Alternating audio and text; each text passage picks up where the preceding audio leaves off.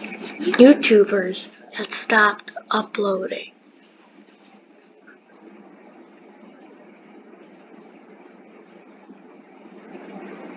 This is scary, guys.